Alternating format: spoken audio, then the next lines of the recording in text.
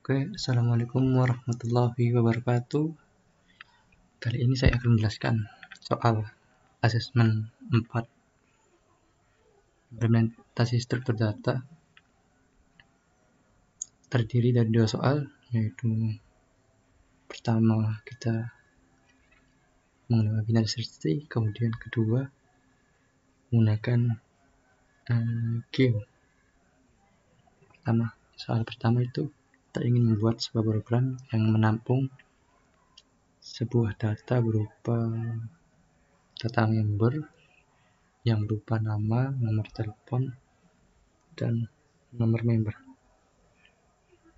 Nah, yang kita urutkan pertama kali itu nama. Jadi namanya kita yang urut berdasarkan nama atau ascending. Kemudian data tersebut dapat dihapus dan juga menggunakan penelusuran in order untuk datanya. Kemudian ketika ini aplikasi uh, program untuk melakukan delivery atau pengiriman ada um, aplikasi ini uh, program ini menggunakan uh, apa harus jaraknya itu uh, yang paling jauh prioritasnya paling jauh jadi semakin jauh jaraknya semakin diprioritaskan pengirimannya nah, ini ada kategori kategori pertama, kategori ketiga, kategori empat. Aplikasi ini menyimpan data berupa kategori jarak nomor nomor dan pesanan. Aplikasi dapat menampilkan jalur pesan yang kehidupan. Oke, pertama.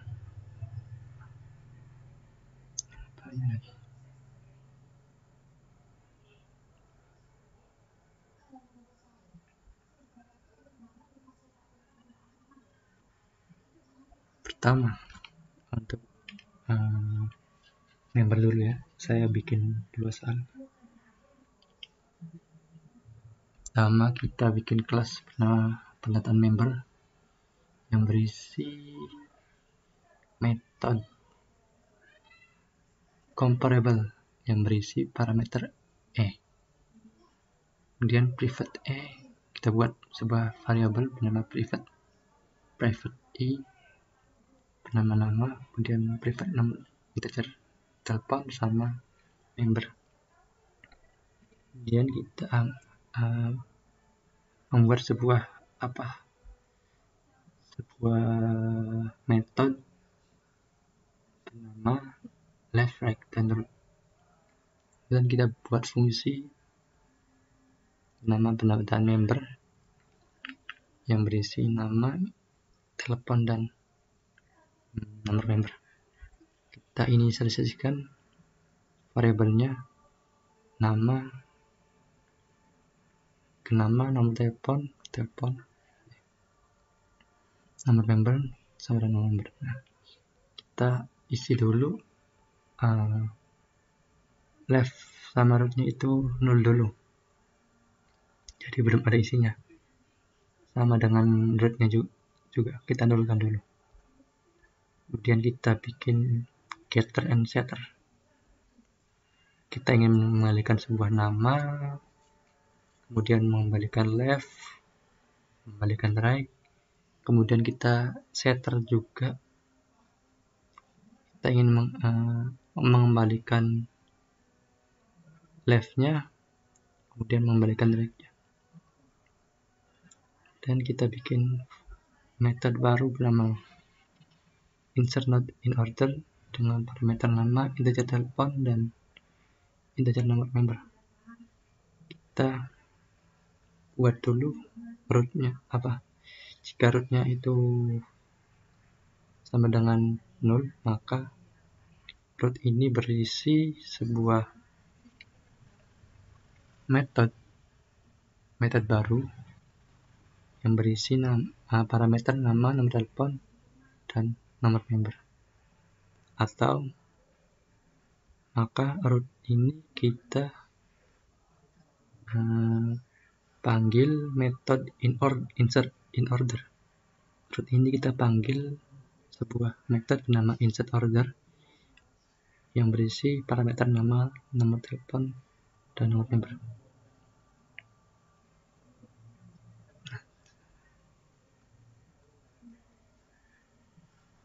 Kemudian untuk uh, buat hmm, metode baru nama insert in order yang mana uh, berisi parameter value, nomor telepon, dan nomor. Nah, pertama kita hmm, cek dulu. Apakah value yang berisi yang kita compare? Compare ini sebuah apa fungsi dari Java ini untuk membandingkan nilai Nah, kita ingin membandingkan sebuah nilai value yang berisi parameter nama ini apakah kurang dari 0. Nah, jika uh, leftnya itu 0, maka kita leftnya itu kita masukkan dalam metode pendataan member yang berisi value nomor telepon dan nomor member atau live ini kita masukkan ke dalam sebuah method insert order berisi parameter value nomor telepon dan nomor kemudian uh, jika atau jika kita compare lagi apakah uh, nama itu lebih dari 0 jika lebih dari 0 maka right-nya kita kosong. Kita nolkan dulu. Dan right ini kita masukkan ke dalam kita masukkan ke dalam uh, met, uh, metode pendataan member yang berisi parameter value nomor telepon dan nomor member. Atau kita Flag ini kita masukkan ke dalam metode insert in order berisi parameter value nomor telepon dan nomor. Nah, untuk remove ini kita hanya ingin uh, ambil dari namanya saja remove. Jadi hanya cukup menuliskan uh, satu parameter saja. Tapi uh, masukkan sebuah parameter bernama nama kita panggil root ya, yang mana kita inisiasikan ke dalam sebuah metode baru bernama remove rect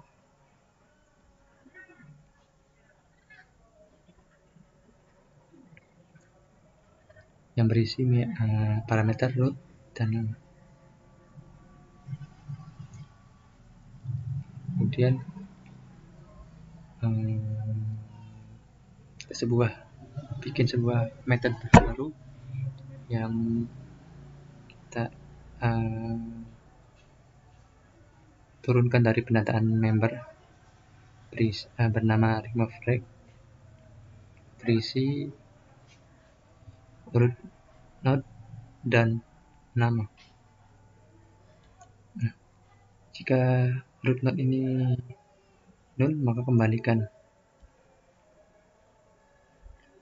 ke um, nama kita um, compare kita compare compare dulu kita compare apa bandingkan dulu dengan uh, nama yang kita buat di get nama ini. Yang mana tetap mengembalikan nama return nama. Nah, jika kurang dari 0 maka uh, root node kita panggil setter method set left nah, yang mana berisi metode remove flag nah, remove flag ini ada parameter get left dan nama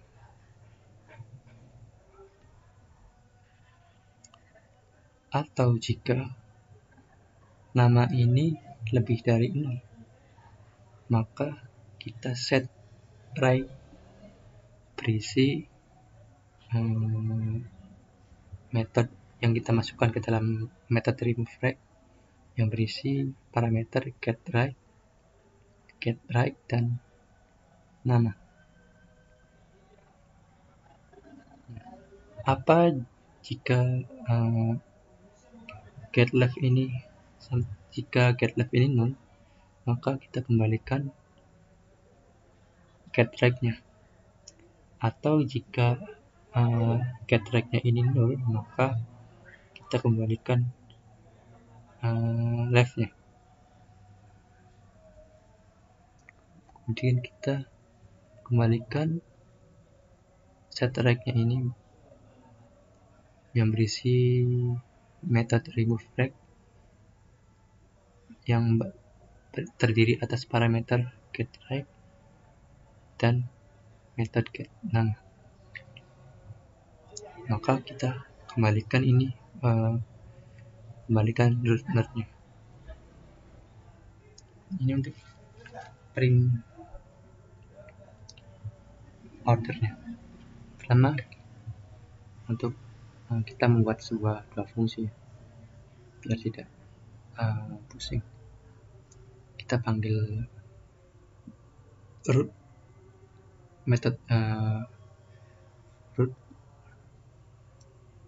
tipe data uh, uh, apa root. Kemudian kita panggil print order yang berisi parameter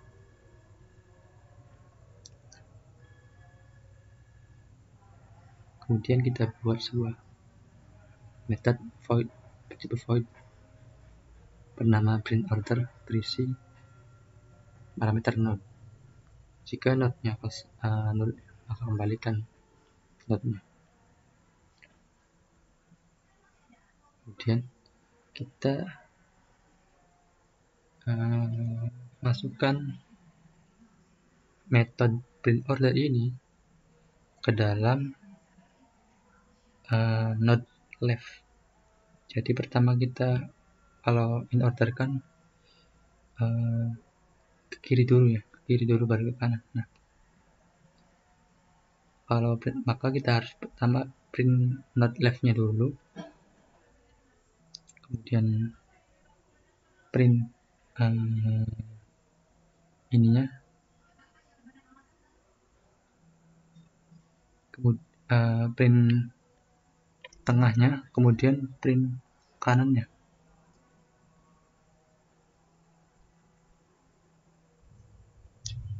Yang ke tengah ini berisi, uh, berisi nama nama telepon dan ID member.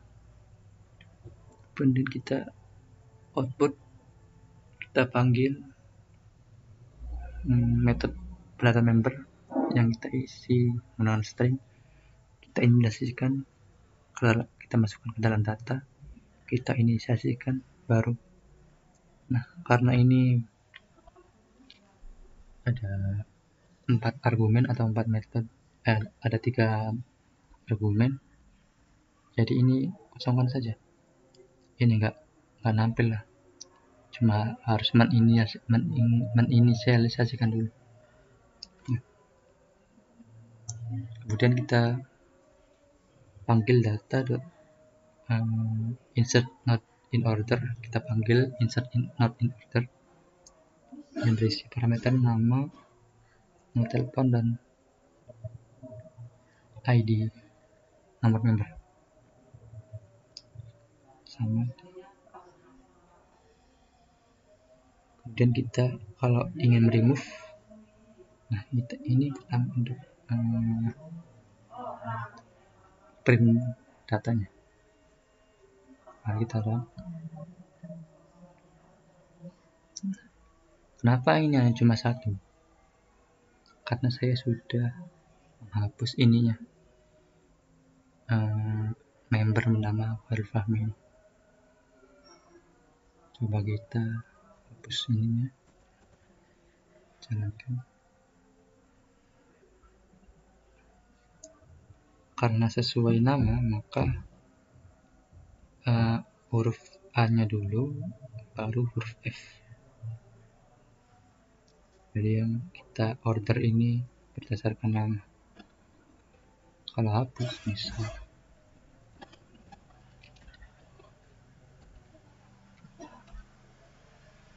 kita hapus. Kita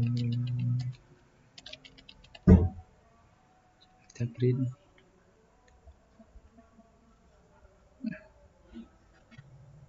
tinggal ID nomor member 2 oke tinggal soal kedua. Gampang semua. Kita karena diperbolehkan periodic queue kita menggunakan periodic queue dan queue. Kita import queue dan priority queue kemudian kita buat sebuah kelas bernama pengiriman produk yang mengimplementasi hmm, metode pengiriman produk. Kita buat variabel private integer jarak dan ID member sama string pesan. Buat metode baru untuk menginisiasikan variabel ini berisi parameter yang berisi parameter integer jarak, member, dan string pesanan. Kita inisialisasi setiap variabelnya terlebih dahulu. Kemudian kita buat sebuah uh, metode compare to yang berisi parameter pemilihan kita ingin membalikan apa? Kita ingin membalikan apakah jaraknya ini lebih besar dari jarak. Jika jaraknya ini satu atau jika jaraknya ini kurang dari minus satu. Kemudian kita buat terus uh, metode string metode uh, to string yang ingin menampilkan outputnya kita outputnya. Yang mengembalikan um, fungsi eh, jarak ID member sama pesanan. Kemudian kita kita buat untuk outputnya. Kemudian kita panggil metode pengiriman produk ini kita masukkan ke dalam nama baru bernama pelanggan satu. Kita inisialisasikan. Pengiriman produk ini memiliki tiga tiga ya tiga parameter. Nama jarak ID member sama pesanannya sama. Kita panggil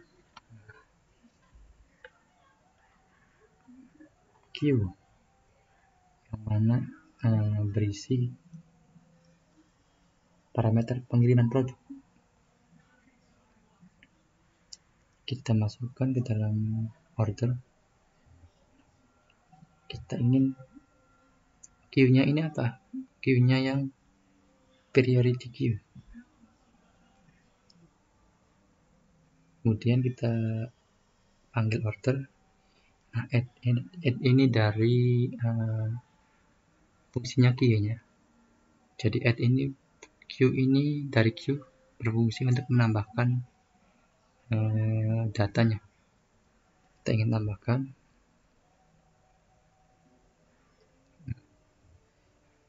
ketika ordernya ini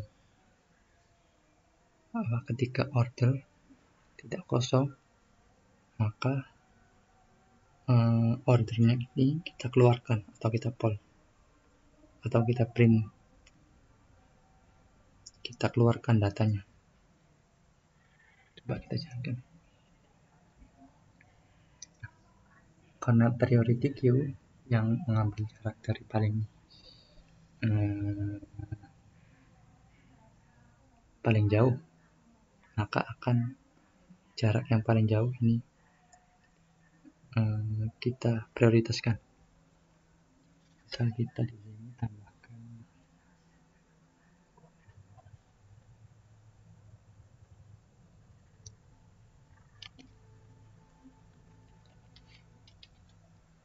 Jaraknya itu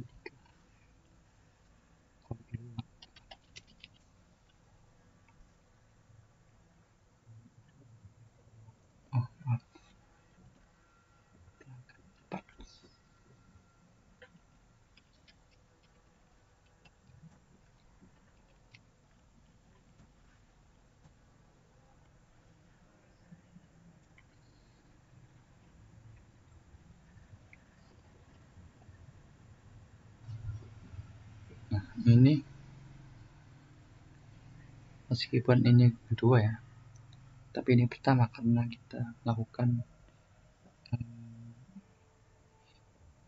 priority queue yang mana kita um, prioritaskan yang mana jaraknya lebih ti uh, lebih tinggi daripada dengan yang lain maka kita prioritaskan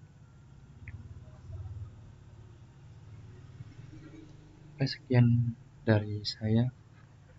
Kurang lebihnya mohon maaf karena kelebihannya Allah milik semata. Assalamualaikum warahmatullahi wabarakatuh.